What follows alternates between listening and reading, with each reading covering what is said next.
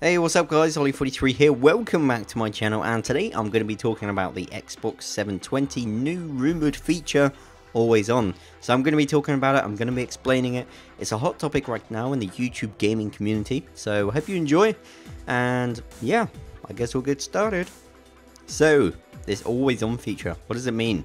Well, Microsoft, uh, I'm not entirely sure where this has come from exactly, but there has been speak that basically, if you own an Xbox and you own, let's say, 16 games, you've owned it for a while, and you have four controllers and all the accessories in the world, if two things happen, one, Microsoft servers breakdown, or two, um, your your internet cuts out, then you won't be able to play your Xbox until it gets fixed.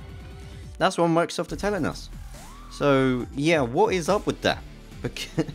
It's so stupid, it's beyond belief. And here's why.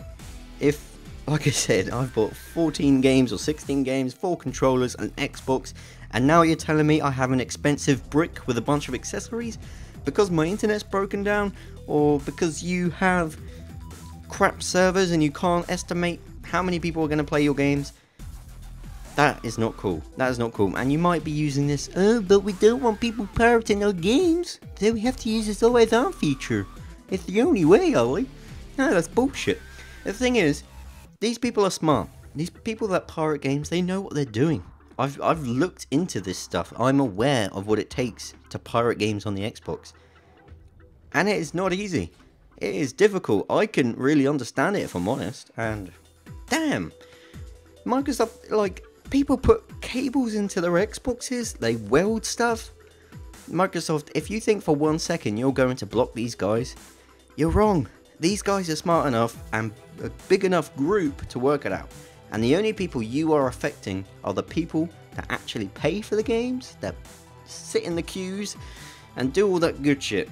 So Microsoft, if you do this always on feature, I swear to God, I'm gonna, I'm gonna go to Sony. I'm gonna get that, you know, Japanese chap, and we're going to slap the hell out of your face.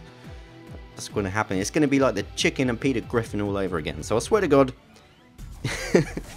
don't let that shit happen. I've spoken. Ollie43 has spoken. Goodbye. Alright guys, hope you enjoyed this little ranting video. I'm just really passionate about that shit not happening. I swear to God, I'll get into a chicken outfit and attack Steve Ballmer if that's what it takes. I don't know. Uh, that's not a threat, Steve. Don't worry. I'm sure we're friends. Anyway, here's a couple of videos you may have missed. Check them out. They're pretty awesome. They're about GTA 5.